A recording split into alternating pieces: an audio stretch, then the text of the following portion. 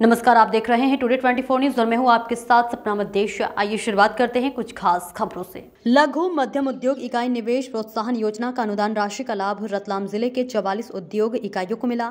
Ice cream निर्माता श्री नूतन लालन को मिला 9 लाख रुपए अनुदान लाभ अपनी सफलता के लिए। मुख्यमंत्री श्री चौहान की योजना तथा विधायक श्री चैतन्य कश्यप को देते हैं धन्यवाद। इनमें करमदी औद्योगिक क्लस्टर स्थित नूतन कुमार लालन की मोहन फ़ूड इकाई भी सम्मिलित है। मोहन फ़ूड को मुख्यमंत्री द्वारा नौ लाख रूपए अनुदान लाभ प्रदान किया गया। प्रसन्न चित्त उद्यमी श्री नूतन लालन ने बताया कि शासन की एम एस एम ए निवेश प्रोत्साहन योजना के तहत उन्होंने आइसक्रीम उत्पादक इकाई स्थापित की है, जिसके लिए निवेश प्रोत्साहन योजना से डेढ़ करोड़ रुपए का ऋण प्राप्त हुआ है। श्री लालन अपनी आइसक्रीम उत्पादन इकाई से लगभग बीस व्यक्तियों को प्रत्यक्ष रूप से रोज़गार दे रहे हैं। अब प्रत्यक्ष रूप से उनकी आइसक्रीम इकाई से लगभग सौ लोगों को रोज़गार मिल रहा है। श्री नूतन लालन पूर्व से डेयरी व्यवसायी हैं। अब आइसक्रीम उत्पादन कर रहे हैं। रतलाम के आसपास के 80 किलोमीटर के दायरे में उनकी आइसक्रीम विक्रय हो रही है। उनकी भविष्य की योजना आगामी समय में सौ करोड़ रूपए टर्न ओवर की प्राइवेट लिमिटेड कंपनी का निर्माण करना है। देखिए संजय सिंह तोमर की ये खास रिपोर्ट